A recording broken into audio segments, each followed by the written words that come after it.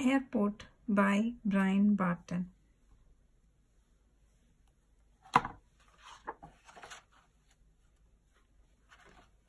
In buses and in cars, people come to the airport. They come to fly in big jet planes. In the waiting room, they sit and wait.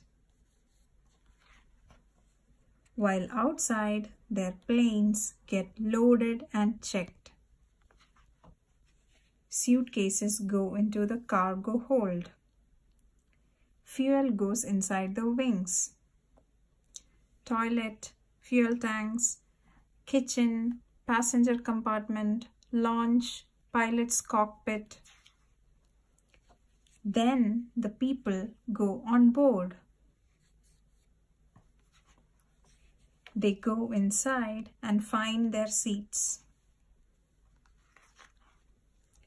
Up front in the cockpit, the pilots get ready.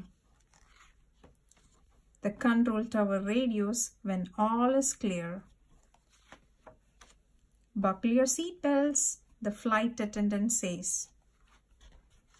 The big planes start rolling slowly to the runway. Control tower to the to pilot, all cleared for takeoff. They roar down the runway faster and faster. Then up in the air, they are on their way.